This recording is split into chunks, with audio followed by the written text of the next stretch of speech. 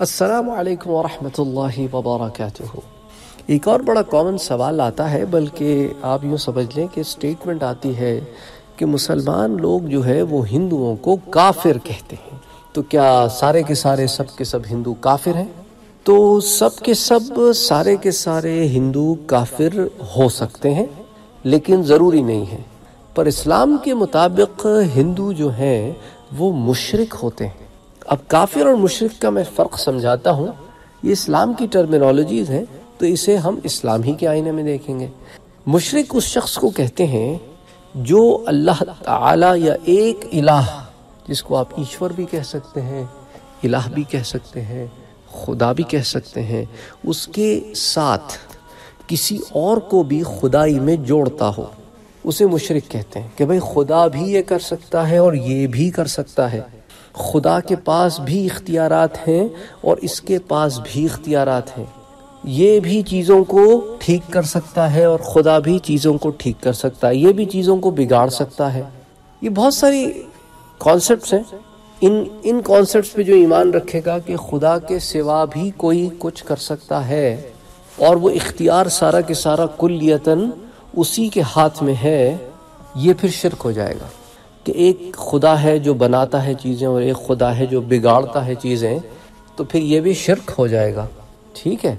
اسی طرح خدا کے اوصاف جو ہیں، جو اس کی کوالٹیز ہیں، ان میں بھی کسی کو ماننا کہ یہ بھی یہ چیز کر سکتا ہے، تو یہ بھی شرک ہو جائے گا۔ تو کل اتھارٹی جو ہے، وہ اللہ کے ہاتھ میں ہے، ایشور کے ہاتھ میں ہے، ایک خدا واحد کے ہاتھ میں، اور اسی کی عبادت کرنی ہے۔ اور اگر کوئی اس کے علاوہ کسی کو اس کے ساتھ جوڑتا ہے اختیارات میں، یا کچھ اختیار اس کے پاس اور کچھ اختیار اس کے پاس دیتا ہے، تو یہ شرک ہو گیا۔ اور ایسا کرنے والا مشرک ہو گیا۔ تو پھر کافر کس کو کہتے ہیں؟ کافر اس کو کہتے ہیں کہ جس پر اسلام پیش ہو، جسے اسلام کی طرف بلایا جائے، جسے اسلام کی تعلیمات بتائی جائیں۔ اور وہ ان ساری چیزوں کو سننے کے بعد اسلام کا انکار کر دے۔ اس کو کہتے ہیں کافر۔ کافر لفظ کفر سے نکلا ہے۔ کفر کا مطلب ہے نہ ماننا، انکار کرنا۔ اب ہر ہندو پر تو اسلام پیش نہیں ہوا۔ جس پر پیش ہوا اور اس نے انکار کیا وہ کافر ہو گیا۔ اور اپنی ذات میں، اپنے عقیدے میں وہ مشرق ہے۔ تو انکار کے بعد کیا ہو گیا؟ کافر ہو گیا یا کافر و مشرق یعنی کافر اور مشرق دونوں ہو گیا۔ کہ ایسا مشرق جس نے انکار بھی کیا۔ اب ہر کافر جو انکار کرتا ہے وہ ہر بھی کافر نہیں ہوتا۔ اب ہر بھی کافر کون ہوتا ہے؟ کیونکہ اکثر جو ہے یہ آروپ لگایا جاتا ہے، یہ الزام لگایا جاتا ہے کہ بھئی تمہاری کتاب میں تو ایسی آیت آتی ہے کہ جہاں ملے انہیں مار دو، اور وہاں پہ لفظ کفر ہے، تو تم تو کافروں کو ہر وقت مارنے کے در پہ ہوتے ہو۔ تو جن کافروں کے بارے میں یہ بات آئی ہے، وہ جنگ کے میدان میں بات آئی ہے۔